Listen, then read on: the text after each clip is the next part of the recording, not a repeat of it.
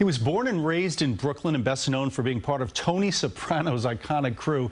Tonight, cast members and fans of The Sopranos are remembering Tony Sirico. He built a reputation in Hollywood and New York, playing gangsters on screen that you couldn't help but love.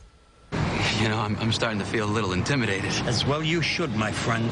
A man who teaches skiing for a living or to look after his physical condition.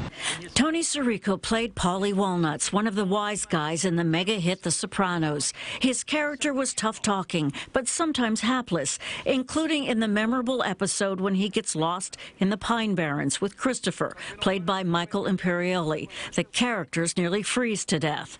Sirico was born in 1942 and grew up in East Flatbush and Bensonhurst, Brooklyn. The actor found steady work in TV and film, including a small part in the 1990 film Goodfellas, and his voice was heard in several episodes of The Family Guy. Hey, you, green pants. I hear you're looking for a dog or something.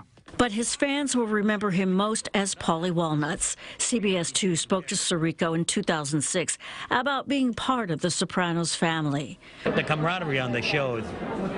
That's why you like watching. The chemistry jumps right out of you. Come on, cowgirl. Let's go down to the chuck wagon and see what they're rustling up. Tonight, Sirico's co-stars from the hit HBO series are remembering their time together. Michael Imperioli paid tribute, saying, We found a groove as Christopher and Paulie, and I am proud to say I did a lot of my best and most fun work with my dear pal Tony. I will miss him forever. Lorraine Bracco recalls working with Sirico. I have a lifetime of memories with Tony, starting with Goodfellas to The Sopranos and way beyond.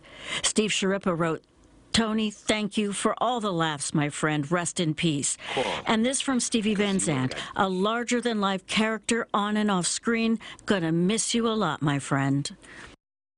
Tony Sirico's family did not release a cause of death. He died in Fort Lauderdale and is survived by his two children and his grandchildren.